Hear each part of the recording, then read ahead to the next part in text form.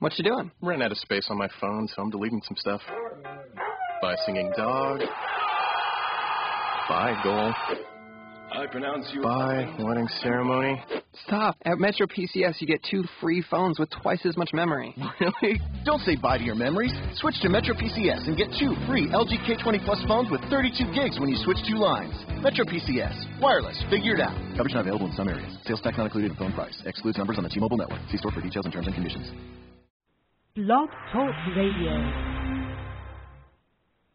Good afternoon, everyone, and welcome to our show today. I'm very pleased to report after somewhat of a hiatus, we're actually be able to get to the singer of Juliet Dreams, which is one of my favorite new country artists that are out there. So without further ado, let's get Erika on the line. Good afternoon, Erika. Hi, how are you doing? I'm doing well. I am so excited to have you on my show today. Likewise. it's it's been oh a little bit of a haul, but we're finally here. It has, and I apologize. It's just been absolute madness trying to get you onto the show, and fortunately, I could not. I am just pleased as punch. I, I have to say that everything that I know about you, I'm sure the audience members are excited to hear about, and there's just a lot of ground to cover. So I wanted to just kind of get right to it and see what um, see what you can tell me about yourself. well, thank you Um, so much for having me on the show. Oh, definitely, anytime. Um, I wanted to kind of start out the interview um, with maybe a, just a generalized discussion of your roots. Uh, I know you're originally born in Texas, and at an early age you had obviously relocated to New Mexico. Now, I'm assuming that the latter is where you gain most of your cultural beliefs and your rituals. Can you maybe just kind of expand on your life, you know, being young, living there, and, and tell us about your life a little bit? Absolutely. Well, like like you said, I am originally from El Paso, Texas. I was born there. I moved to Albuquerque, New Mexico at the age of two. So pretty much all of my values, everything has come from New Mexico. Um, everything about me really has been instilled by my mother and my father. Uh, all my morals, all my beliefs, my everything. And basically, I, I love to sing, and, and I got to tell you a funny story. When I was really, really young, um, I used to make my family sit around and watch me sing and perform and do gymnastics around them. So I always knew that this is what I wanted to do without really knowing it, because when you're that young, you don't really know. You just say, "Oh, I want to be a singer. Oh, I want to be a dancer," things like that. Um, so that's pretty much where it started out, and I just basically just kept with it as far as you know doing like dancing stuff like that and um about my background my parents obviously are a huge part of my life. They have always encouraged me to do everything that I need to do for myself whatever makes me happy. And to be honest singing is what makes me happy. Um I didn't really start until a little bit later on in life as far as professionally pursuing it. And um that pretty much happened in my my early 20s so I don't know if you want me to go into that or We're going to get there little by little, actually. I was just curious because obviously, when you come from New Mexico, Me- excuse Mhm. me, New Mexico, and your Right. heritage obviously um, is a little bit different than ours. Curiosity dictates a couple of different things: what your lifestyle was like as you were as a young child, and then moreover, with being a musician, I know with some of my friends, a lot of which are Mhm. musicians, they don't always get that that fire in that belly, that passion doesn't just all of a sudden come to them one morning. You know what I mean? Sometimes it does. Sometimes it's, oh, I want to be a doctor, and then years later it becomes musician. That sort of thing. Sure. You know, I, I I don't have any musical influences in my family, so this all kind of just stemmed from myself. Of course, with the Okay. support of my parents and so forth. New Mexico is it, it's very much now it's a little bit different. I'm from Albuquerque, so if you will, it's it's a bigger city. Um, it's a lot smaller, obviously, than Los Angeles, is where I'm at now. but Right. things are a little bit different there. The culture is very simple. Um, the people from New Mexico are very simple people, very humble, and yet just so generous and full of support. And that's where I think musically, um, I couldn't have asked for anything more. As far as growing up, um, I have one brother, and we basically did things that that every child does. I mean, back then we didn't have all the video games and things that we have now. So we used to ride our bikes, we used to go do stuff um, outside. It, it was a little bit different. um, Albuquerque wasn't as grown as it is now. So obviously the upbringing isn't like a major city as such as like New York or Los Angeles, things like that. Oh, definitely. And of course, for those of us, like I said, who's who's never gone or experienced that sort of thing, it's just an interesting and a neat culture. I, I find I'm always curious and intrigued to find out how somebody started where they started. And as you said, with your passion for music, um, even younger, were you kind of tampering around, maybe playing instruments, singing around the house? How did how did that first start for you? I've always sang around the house. It, um, I can just remember singing for my parents over and over, and anybody who would listen to me. My friend, I, I had a girlfriend who actually lived um, in the house behind me, and we used to go around and knock on the neighbors' doors, and we would ask them if we could sing for them or we could perform for them somehow. Because back then things were just a whole lot more simpler. Um, coming from Albuquerque, it was a lot of housing. We we didn't live anywhere where we perceived it to be dangerous. So we it was at a time where you could go knock on people's doors and and ask for things. And and so I remember going around the neighborhood saying, "Can can we sing for you? Can we perform for you?" And then we'd enter little talent shows here and there.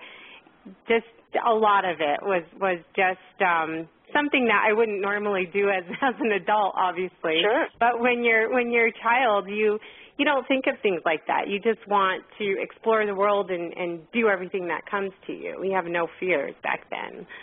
Definitely, definitely, I agree. So never there was there a point in time where mom and dad are standing there and they're looking at you and they're thinking, you know, honey, we'd really like you to someday get a really responsible job. I know I've heard that in my realm as far as reliable, good future, doctor, lawyer, that sorts of things. They never kind of pursued you in a more stable direction, if you will. Absolutely. Actually, I'm the one who's been pursuing the music aspect of it. I, of course, went to high school and graduated from high school, and I began to go to college, and I stopped. And the reason why I stopped, I began to work for an accounting firm. And at that time, being as I was 18 years old, at the time I was making very good income, um, you know, for my age. And I just stopped going to college and I remember my mother and father just saying, "Hey, you know, you you really need to pursue your your career, you need to pursue your education. It's the most important thing." And at that point, I was kind of starting to pick up little venues here and there, little um like local fiestas or singing with the local bands, things like that. Nothing on a professional level whatsoever. And what I realized was, you know, you really do need that education to advance yourself. So at a later date, I basically stopped. I put everything on hold and I pursued my education. So while doing that, I had a full-time job as well. That made it completely difficult, but because I needed it and my my parents did push me to do that. And right now in hindsight and looking back, at this age thinking, I am so glad they did that. I really am. I bet. How wonderful. That's so wonderful to have the the family support I think is really integral as it relates to any kind of career. Just it kind of flourishes everything, I guess that's my opinion. I was Absolutely. curious, uh now I know many musicians, especially most of them that have come on my show, have cited that they have early inspirations relative to music. Um, I'm just curious to ask you if you could name for some of us uh, your musical role models, either past or present. Well, my musical role models are kind of all over the place. Um, my family is I growing up my I can just remember my mom playing a lot of Spanish music and any type of Spanish music. She would play slow type, a lot of Luis Miguel. She would play a lot of mariachi music, my dad as well.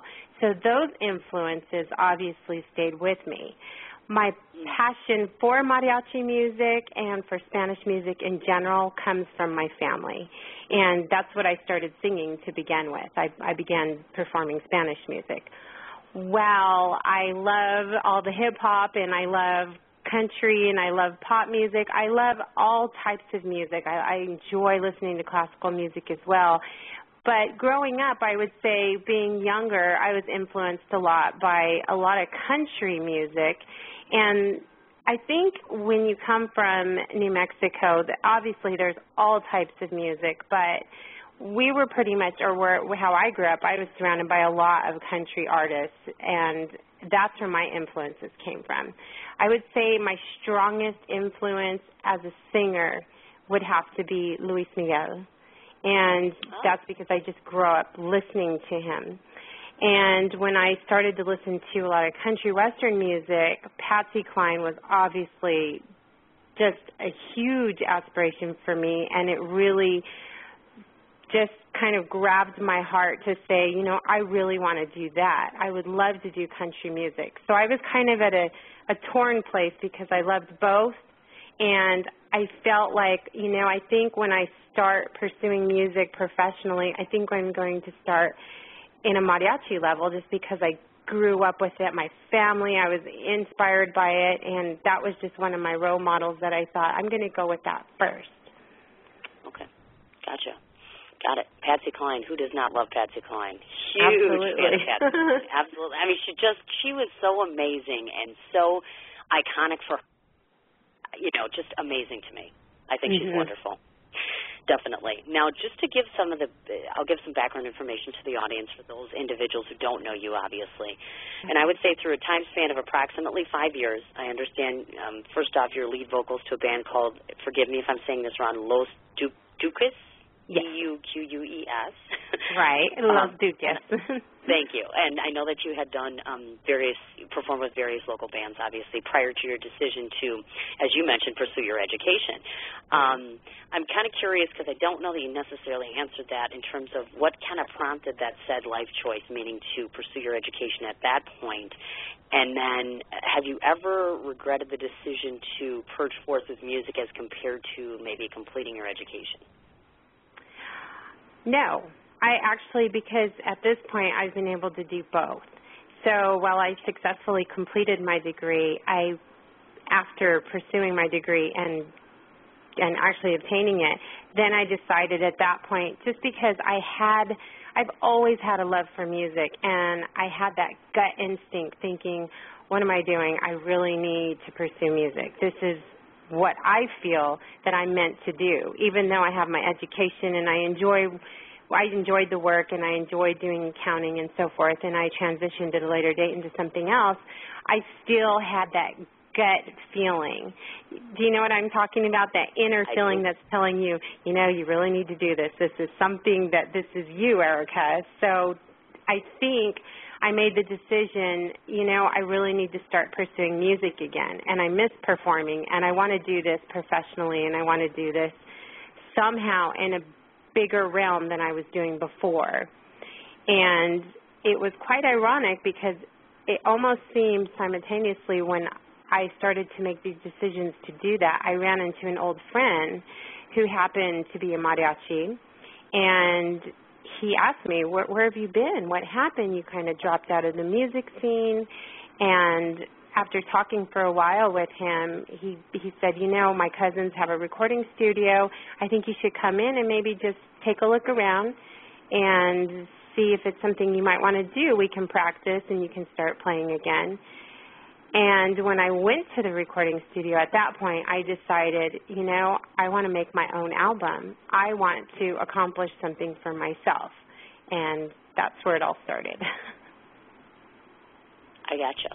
Okay. Now, um, further to just elaborate just to hear a bit here Mhm. as part of your musical resume, because again, I'm not sure that everybody knows just all the magnificent things you've done. And I have Mhm. to say, I just have to stop a second to say, in case anyone has not looked at Erika, she's breathtakingly gorgeous. You need Thank to do a Google search and you need to look at you because you are just magnificent. Not only can you sing, but you're gorgeous. Thank you I so just had much. to say that. I Oh, really you're quite welcome. appreciate that. No, no, I'm not a problem. I don't mean to embarrass you. Hey, you know what? If girls aren't going to tell you that, you know what I'm saying? It's exactly how that works. Um, I noticed, which I found kind of neat, was um, one of the things that you've done, obviously, is what they have at those Hispanic Heritage Days. I know you've done one in Yes. West Virginia. I know you were part of the Unity Festival in the past. Um, can you maybe kind of, pray tell, can you tell us how these opportunities were presented to you, and maybe share with us what was that experience like, meaning in playing in a festival as compared to maybe doing something more local? Well, the I would have to say the local venues are fantastic. I mean, they really have a huge audience. Everybody's very involved with it. So while it's wonderful, I would have to say the Hispanic Heritage, those type of events are a completely different feel. Those are more, um, how would you say, um, they're not as okay, now here's how I'll break it down. When you have a local festival and so forth, everybody's there to have fun and basically it's it's like a free for all. You can they have carnivals, events, do whatever you like. Everybody's there for a purpose just to go have fun and be entertained. Mm-hmm. When you have something like a Hispanic Heritage Day, it's a little bit more of a professional setting. So it kind of changes the mood a little bit. So you have to work extra hard to get those those attendees while they enjoy themselves and so forth and they're there to have a great time, it's a completely different vibe with the two. The I would say it's more of a professional setting when you do the Hispanic Heritage versus local festivals and things like that. And did you find that to be remotely intimidating for yourself, or, or was it more of the rise to the challenge and, and you appreciate something like that more?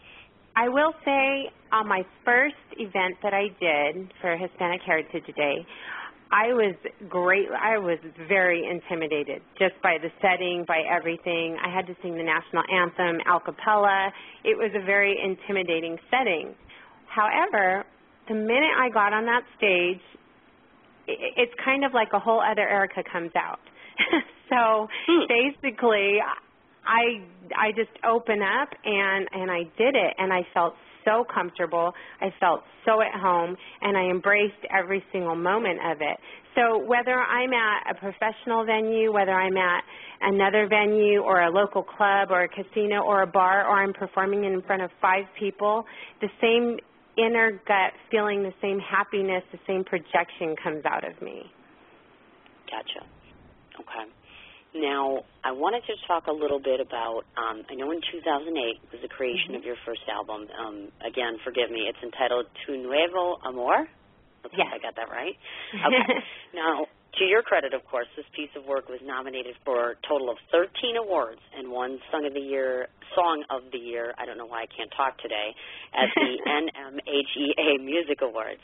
Right. Now, did you find that to be one of the more surreal moments in your career? Uh, I mean, was it just kind of maybe out of left field, and you're thinking, "Wow, look at this"? You know, it really was.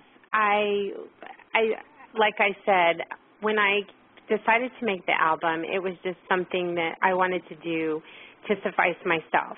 I wanted to make an album that not only I enjoyed, but something that the people would actually enjoy. I wanted to make something that represented me. I wanted to sing, vocally project. I wanted the music in it to be something that would say, this is Erika. And the music on it is basically, it, it's a lot of romantic music. It's a lot of love. It's a lot of of desperation. It's it's going through hard times. It's happy times. It's it's kind of the cycle of life, but it has a very unique romantic feel. So when I actually recorded the album, I had no idea that it was going to be nominated. Actually, I wasn't even thinking that. so as you can imagine, to my surprise, when it was nominated and when I did win the award for Mariachi Song of the Year, that was just something to me that was unexplainable. That was something that I achieved, and my innerness just my gratification. I just don't have words to express how I felt sure. about it. but it was something that I accomplished, and I'm very proud of, and I'm very happy, and I owe a lot of that to my parents because they were so supportive of all of it. Okay, gotcha. And then as if that wasn't wonderful enough, people. You're also nominated, I know, a second time with your duet with um, Tobias Rene. Um, I was curious to ask you about um, if you could explain to us the formulation of your working relationship with him. And I also know that you've collaborated before with, or have worked with, I should say, uh, the famous comedian, which is Paul Rodriguez. How were those relationships solidified? You know, um, Tobias Rene, he's he's actually a friend of mine now at this point. I actually met him through singing. I met him back in 2008. And because being from New Mexico, both of us were performers there, and he, quite honestly, is very well known. And so I would do some festivals, and then I was introduced through a mutual friend to him, and he heard some of my music, and he asked me to do some songs with him. Um, and then eventually he asked me to tour with him, which I was very excited to do. While I was doing my own kind of touring, uh, if you will, I was doing my own shows. I, I toured with him as well, so I was kind of doing two things at one time. Um, I was doing mariachi music on one hand, and when I started to tour with Tobias, if you've listened to the song "Cucurrucucú Paloma," it's it's a little bit different. It has a mariachi feel, but it's a little bit more soulful in the Spanish sense. And when I started to tour with him, I started incorporating a lot of different styles of Spanish music. And then I eventually put a couple of country songs just to try it out, if you will, and, and start incorporating that into my shows as well. So I did tour with Tobias and it, it was a very successful tour. We had some other local artists come with us as well, and, and it was successful. When we were nominated for that song, I mean, it, it's just really a remarkable song, and, and I have to say he did a wonderful job in producing it and actually in his vocals as well. Ah, wonderful. And then, how did you get to your association with Paul Rodriguez? Was that uh, through the course that was by event? chance oh, I that was by chance. We um I went to the Tejano Music Awards and because I was involved I actually know a lot of Tejano artists and so forth and have worked with them and, and so forth and they invited me to go to the Tejano Music Awards in San Antonio and when I was actually a presenter they introduced me to Mr. Rodriguez and we opened the show together. So it was quite an ah. experience and it, was something that I will never forget. And, and I'm quite humbled to be to have worked with him.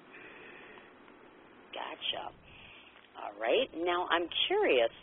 At what point did you actually opt to to formulate a band of your own? I, I mean, was it your mindset at that time in your life to kind of move to this towards the direction of producing country music? Like, for instance, you decided to start this band. W- was country your focal point at that point, or tell us the progression of how all this occurred? Sure, absolutely. Well, I had my own mariachi that I performed with when I was still in New Mexico. And that that was a different style of music. Like I said, when I started to tour and doing shows, I did a show in Saginaw, Michigan, and that was a Latin festival and the attendance was incredible. And I thought, you know, I really would love to incorporate some country music into this and see how the fans respond.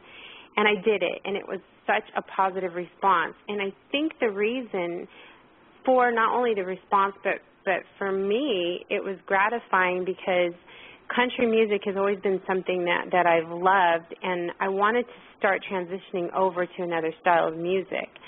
So that came through in my performance because when I sing country, I mean I really sing it. So, um, and and the song choices that I select are usually, I mean, they're they're songs that are very heartfelt and so forth. Um, I began to write music at that point too, and that's when I started to to think to myself, I really need to make this transition into country music. And um, it wasn't till I decided to relocate to Los Angeles is when I just when I actually took country music to full force and stopped doing Spanish music. I gotcha. Um, interestingly enough, I'm sure most people don't know this. I know you've collaborated with BMI producer um, Toby Sandoval. Yes. I wanted to ask, A, have you ever collaborated with him in the past before? And just what sort of knowledge did you kind of take away from that experience as far as utilizing his talents? Well, can I first have to say, Toby Sandoval is an incredible, just impeccable producer. I again, something I can't explain. He is a musical genius. I am so fortunate and just to have worked with him. When I moved here, when I moved to Los Angeles, I began to record and, and kind of I, I spoke to a few engineers and a few a few producers, kind of talking about my project and what I was aiming towards. Everything was original music, so it was kind of starting from scratch, if you will. When I was introduced to Mr. Sandoval, I was completely impressed. I had heard some of his his music that he's done before, a lot of his productions, and I obviously wanted to work with him. But it, that wasn't up to me. so I submitted my music to him, and he agreed to to work with me, and it has been a bonding, everlasting friendship with him, and and he is just incredible and musically talented. I'm I'm really fortunate. He he pretty much brought my ideas and everything that I had to the table. He brought it up 10 notches. So I really owe him Wow. for for these wonderful productions that he produced. Oh, that's amazing. My goodness.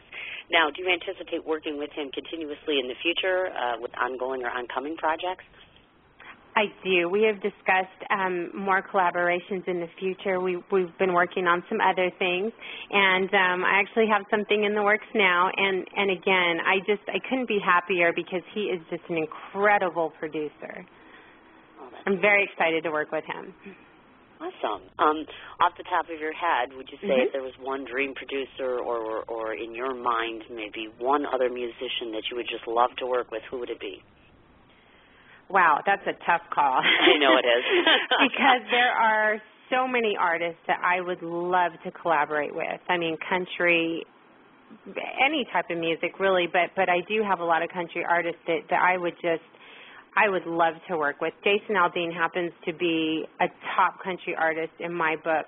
Miranda Lambert as well. I, I really enjoy her music and I really can relate to what she does. Faith Hill as well. So I mean the, the list can go on and on, but those are just just a very few number of people that I, I would love to collaborate with. Wonderful. Okay. Um, I wanted to talk a little bit about obviously your first two singles, both New Tattoo as well as Shot Time. Mhm. Um, from what I can tell here, they're becoming quite successful.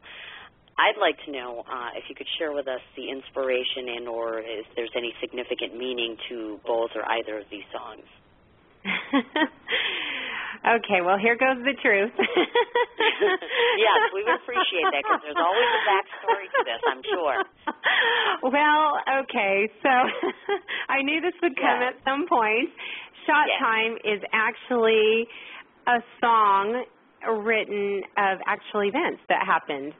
And they're kind of little, if you will, innuendos of things that have happened with my very, very close friends.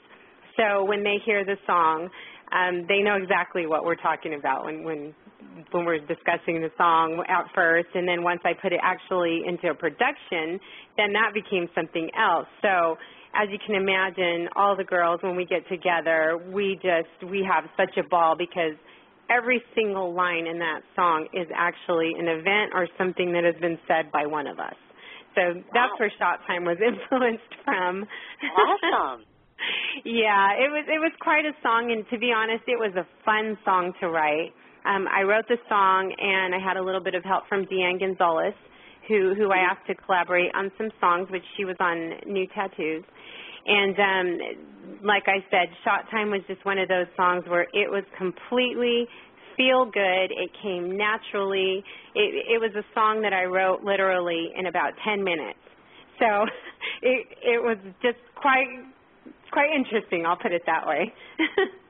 Okay, I've gotcha. And then um, New Tattoo? New Tattoos was actually written by Deanne Gonzalez, myself as well, and basically that was a little bit more influence on her part. Um, she it was kind of like a feel good attitude song. It was a little bit more you know, we get caught in our day-to-day lives, our busy lives, going to work, coming home, doing the things that we need to do. And that song is just a little bit more like, get out there and be free. Let's, you know, let's do whatever we need to do and chase your dreams. Although it's kind of put in a different way, it's more of like a be free type of spiritual song. I've gotcha. Now, I've always asked this uh, same question out of most of these singers and musicians that come on my show. Everybody, and I'm an author, so of course I'm very, I'm a literary artist as compared to you're a musical artist. Uh, describe for us your process. Um, obviously, everybody gets inspiration from somewhere. So, where do we get these creations that you come up with? Are you just sitting in your house someplace with a notebook? Is there a set process for you? You know, there's not a set process for me. I've written songs where I could just be sitting down and a thought will occur to me. I've written songs where I'm wake up in the middle of the night and a verse is just playing in my head and I have to write it down. Um, I, I, I don't really have a set regimen, if you will, for how I write my music, but everything comes from somewhere. Every single song that I write, there's either a meaning, a particular meaning in my life or somebody who's close to me. I've written some some songs that hopefully you'll hear in the future that I'm working on now, and um, they're they're they're quite sad, if you will, but they're actually events that, that have happened to either myself or, like I said, somebody close to me. So every single song that I have that I'm writing and so forth, those are actually inspired by true events. Okay, gotcha. All right, it's interesting too because other musicians, you know, some of them use alcohol, and you know, you go and you have mm-hmm. a couple glasses of wine, and they're like, "Oh, mm-hmm. we're really inspired," or they go travel someplace. So I always find it interesting to ask someone, "Where do all these creations come from?" It's really mm-hmm. neat to see that. Now, I'm quite curious to ask, um, as your musician, how do you view the uh, direction of country music, meaning the crossover country pop artists that seem to keep continuously emerging? It might be my imagination, but there seems to be this this cross country pop thing going on. It's true. It's it's very true. I mean, Taylor Swift is a prime example of one. I have the utmost respect for her. She um she really has brought country music to a whole another regimen. Same with Sugarland. I mean, same thing. They not only pertain to to the country audience. I mean, all types of people just gravitate towards them, whether they're influenced by hip hop or or classical or anything like that. It seems to me like those audiences gravitate towards them. So I have the utmost respect for them. Wonderful. Now, additionally, I wanted to ask: Now, are you personally an advocate? Like, for instance, we have the American Idols or the Voice shows. Those sites, those are all platforms as it relates to the up and coming musicians. Mm-hmm. There's some that say wonderful tool. Then there are others that are like, well, remember when Reba McEntire and George Strait were out there? There was no American Idol. There was none of this stuff. I mean, do you think it's just a quick, easy means per se for an up and coming musician, or what's your take on that? You know, I think times are are different. I mean, everything has changed, and I I basically say if you want to go on The Voice or American Idol. I mean, Carrie Underwood, if if you look at her, Kelly Clarkson, they started from American Idol and they are one of the top vocalists in the world. So I say go for it. I say no matter how you want to pursue your dream, whether it's playing locally, whether it's going on to a television show, whether, whether no matter what it is, that you want to do. If it's something that you feel inspired by and it's something that you want to do, I say go for it. And that tends to be the actual consensus for a lot of the musicians I've been acting, which is surprising just because, like I said, I remember back when there was Reba McEntire, Tanya Tucker, mm-hmm. it was kind of like you worked and you worked and you worked and you went every single place and you auditioned and you did all of this stuff and it just seems like it's a little easier. Simon Cowell has kind of made life a little easier, apparently. true, true. That's that's know, absolutely it's, true, and I, and I kind of feel like a lot of opportunities have, been presented. I mean, some of these individuals would never have a chance if if they hadn't done it that way. So I mean, again, I I say go for it. And whether it's you you know you're working hard in that realm of things, or you're working hard in another way where you're trying to put your music out there and you're trying to tour and you're trying to go all over the place. Like as you said, like Reba McEntire, I know she did a lot of rodeos, such as Faith Hill did the same thing. Um, I say all of everybody, no matter how you pursue your dream however you want to do, I think that that is the best way for you. And and I think it is really you're right. Simon Cowell has really opened a lot of doors for so many people, but it has really been so beneficial to all of us as listeners because even though I'm a musician, I'm obviously a listener as well and I'm part of the audience. Certainly, definitely. And I would say certainly I would agree with you as well in terms of some of the uh, candidates that have eventually come, even if they haven't won from this particular show, have right. really kind of platformed them and, and given them some great opportunities. So definitely I would agree there. Okay, I have a question for the singer herself, actually. This is, uh, I'm assuming that you write your own music. I do. Uh, most of the time. I, yes, you do. Um, and I'm going to put this live on air so this way everybody hears me offering this uh, opportunity to Erika. You are a singer and I am a now documentary maker as well. And I would be quite honored if you would consider the possibility of uh, creating a song for me for my oh, documentary. Absolutely. I've been of all these musicians that I've had on, and everyone that I have talked to, and everyone that I've heard thus far, yourself and one other lady. Um, who I can't mention yet, uh, are the two that that strike a chord and who I think are capable of, of producing a quality um, a quality piece of music. Um, so I'm, I'm hoping that you will consider the opportunity, which will hopefully evolve you even into more things because it's a uh, documentary about bipolar disorder, which is, as everyone knows who listens to my show, is my pet cause, and I've been bipolar for 25 years. So this is a huge pet project for me, and I keep it very close to my heart. So I would love if you'd consider the possibility of actually doing a little work for little old me.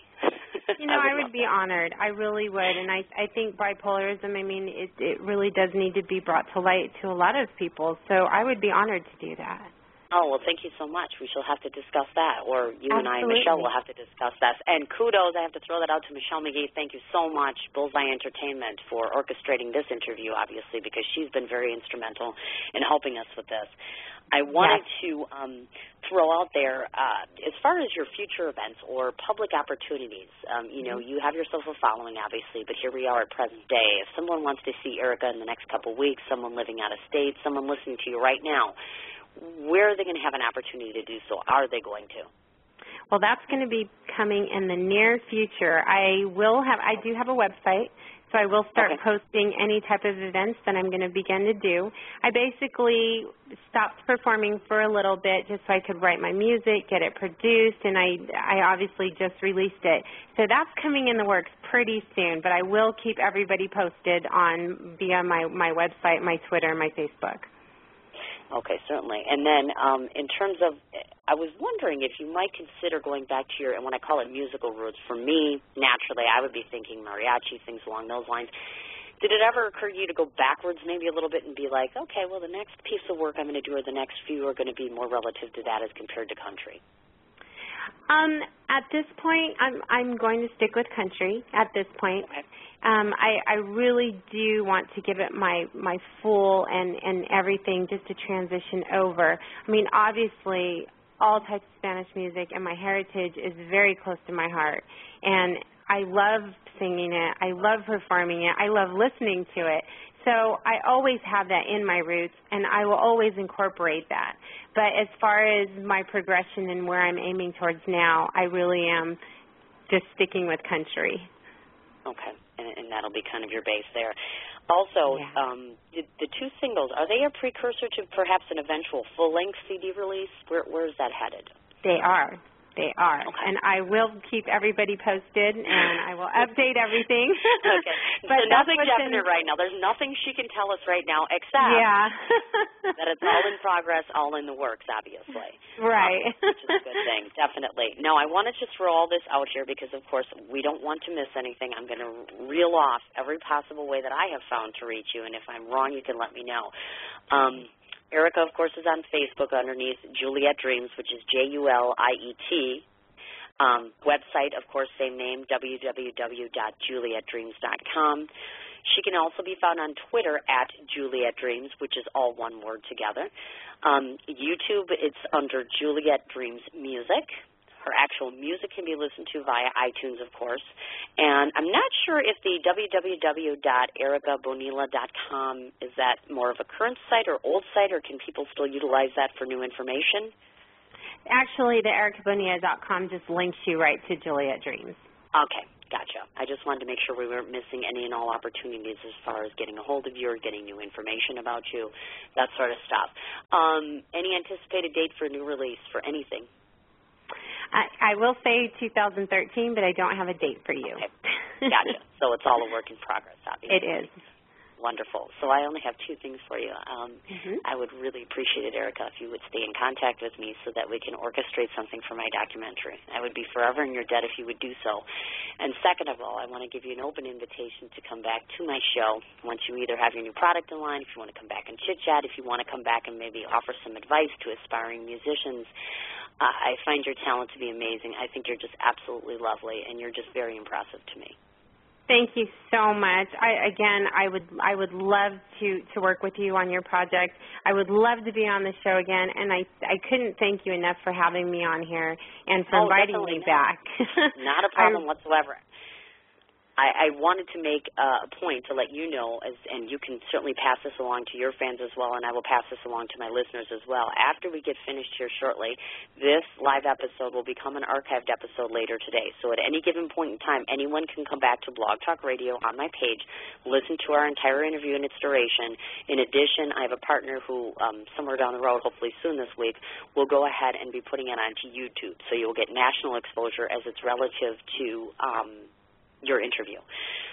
That's um, wonderful. Thank you so yeah, much. definitely. So this way, then you get yourself plenty of exposure, certainly. And I, I want to mention this to you, Erika, because I think you're the only person that hasn't heard this yet. I'm sure Michelle knows this. But if you, if you know any of your friends, if you're familiar with anybody in the industry whatsoever, I am the chairperson, very large breast cancer fundraising event at the beginning of December. So if any of you would like to contribute, if you know anyone, please pass the word along. Get a hold of me. Please let me know.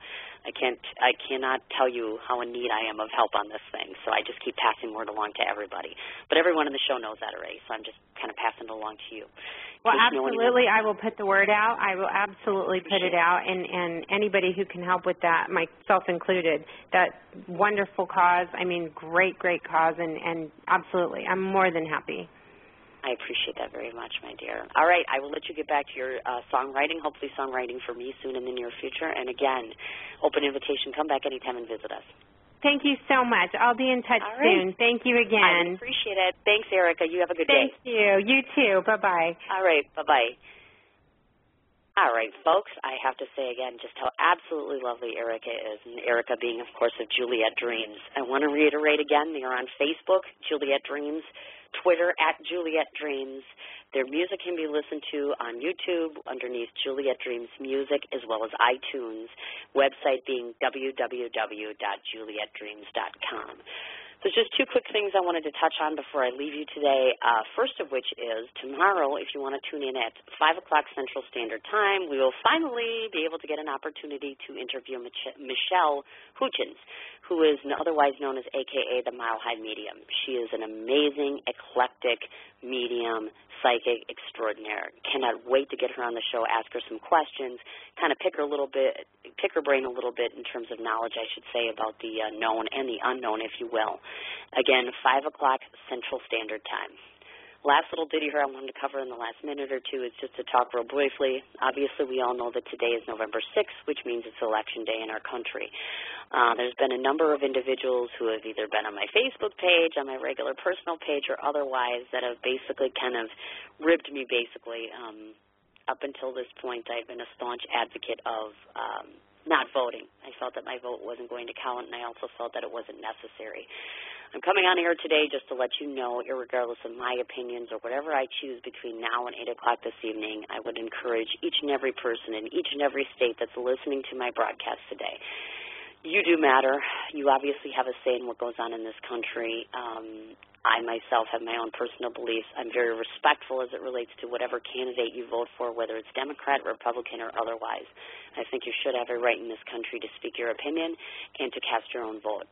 So I wholeheartedly advocate everyone getting out to the polls today between now and 8 o'clock, making your vote count, making your voice be heard by utilizing that right.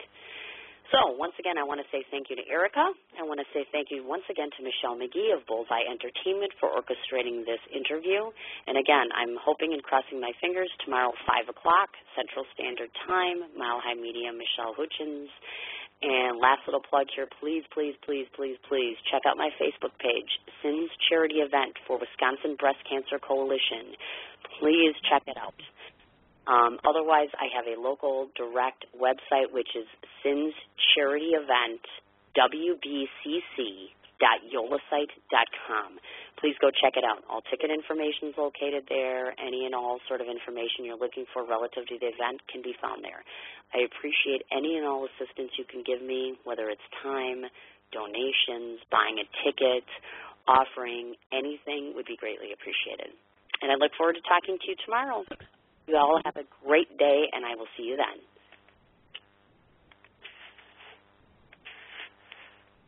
What you doing? Ran out of space on my phone, so I'm deleting some stuff.